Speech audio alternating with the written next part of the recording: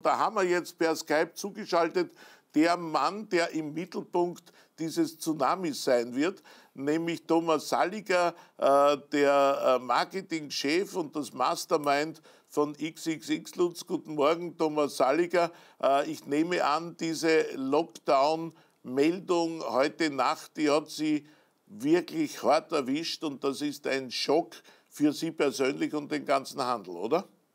Also mal guten Morgen nach Wien. Natürlich ist das jetzt alles sehr überraschend gekommen für uns alle und ich glaube, ich spreche ja immer auch für den gesamten Handel. Das ist jetzt in der Zeit vor den wirklich sehr entscheidenden oder sehr wichtigen Wochen für den gesamten Handel natürlich eine sehr, sehr unangenehme Situation.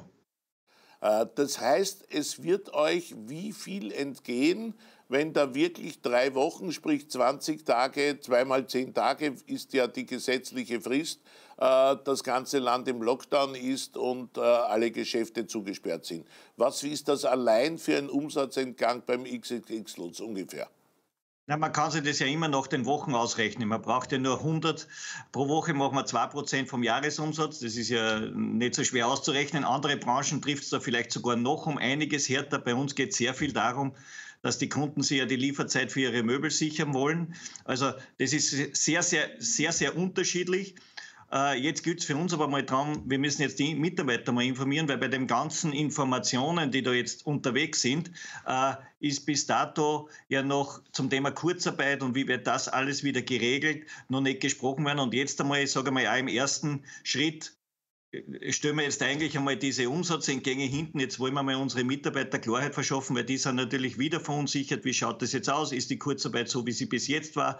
Es gibt ja da durchaus auch andere Bestimmungen. Also das wollen wir, da wollen wir jetzt einmal Klarheit. Und eins muss man sagen, sehr, sehr unangenehm ist immer diese Lockdown-Verkündung am Freitag für Montag.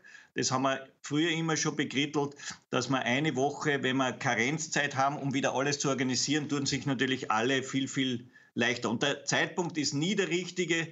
Jetzt ist er vielleicht besonders unangenehm, aber man kann vielleicht an die Österreicherinnen und Österreicher appellieren, dass sie vielleicht heuer mehr Gutscheine schenken für die Zeit danach und nicht alles irgendwo im Ausland kaufen über Internethändler. Das ist einmal ein Tipp. Und das zweite Morgen sehe ich nicht ganz so dramatisch, weil wir müssen ja eins, wir haben ja schon einen Lockdown für Ungeimpfte. Also 20 Prozent der Menschen dürfen ja seit einer Woche schon nicht mehr einkaufen gehen. Das heißt, die Frequenzen regulieren sie durch das ohnehin eine Spur. Einige werden verunsichert sein und morgen nicht in die Geschäfte gehen, weil sowas immer auch ein bisschen einen, wie soll ich sagen, Konsumhemmer ist, allein schon die dramatische Gesundheitssituation. Und viele werden natürlich die Gelegenheit nur nutzen, aber das werden wir auf unsere Flächen und mit den ganzen Sicherheitskonzepten, die ja nie eingestellt wurden und wo der Handel ja immer sicher war und auch nicht der Infektionstreiber ist, was ja jetzt, glaube ich, nach dem vierten Lockdown oder beim vierten Lockdown feststeht, dass wir ja nicht der Verursacher sind und nicht der Treiber eher ein bisschen die Leidtragenden, aber wir sind natürlich wie immer, tragen wir das mit. Ich habe die große Angst morgen nicht. Maske tragen, die ganzen äh, Bestimmungen, die da so, die wir eh schon alle kennen, einhalten, dann werden wir am Morgen kein Problem haben.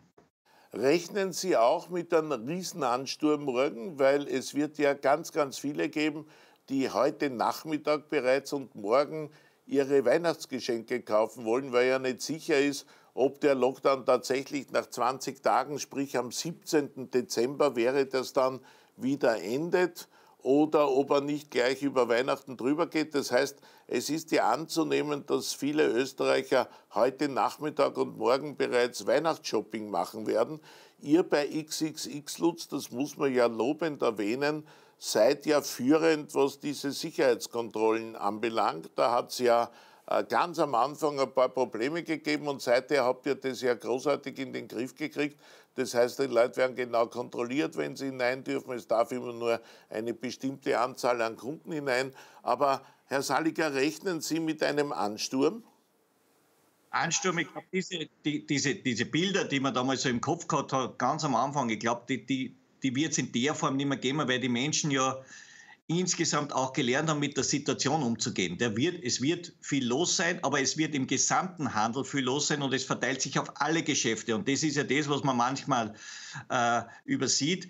Es ist, ist die gesamte österreichische Handelsfläche morgen spannend. Sprich, es verteilt sich auf die gesamte Fläche und nicht auf einzelne äh, auf einzelne Geschäfte. Und von dem her, die Handelsfläche in Österreich ist ja durchaus beträchtlich. Und äh, wie gesagt, nochmal 20 Prozent der Menschen dürfen ja leider schon jetzt nicht einkaufen gehen.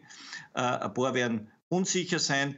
Ich glaube, es wird nicht so dramatisch sein. Es wurde damals ja am 8.12. auch herbeigeredet, dass das so ganz, ganz, ganz schlimm und dramatisch ist.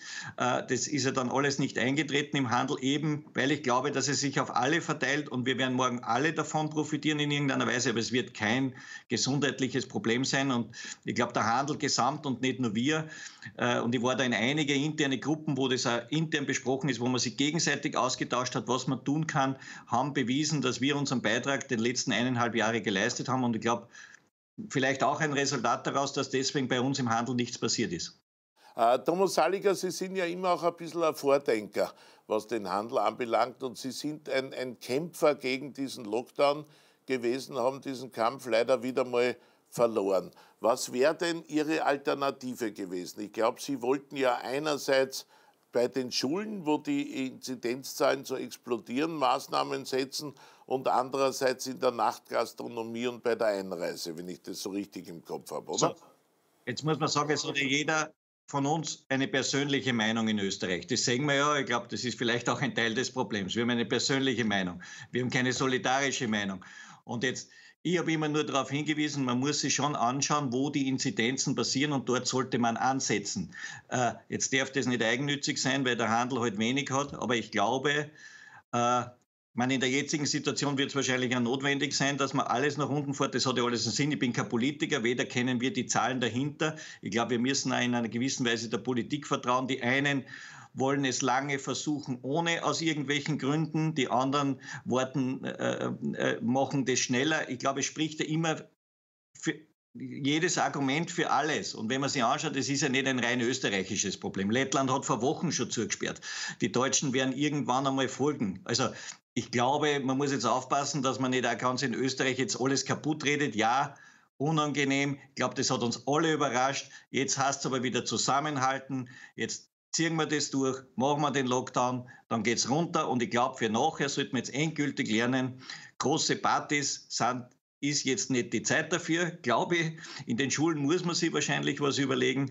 Äh, aber wie gesagt, da gibt es Bildungsexperten und bin ja selber Vater. Also das ist natürlich nicht leicht für die Kinder in Distance Learning, aber ich sage, das war, wenn ich da dann geschaut habe, wie einzelne Lehrer das intensiv betrieben haben, das war schon, weil ich bin ja selbst manchmal im Homeoffice gewesen und daneben hat meine Tochter Schule gemacht. Also muss man einige Lehrer wirklich sagen, wie die Distance Learning sich vorbereitet haben, wie die das gestaltet haben. Das ist nicht das schlimmste Mittel, das gibt, glaube ich. Das aber jetzt ganz meine persönliche Meinung.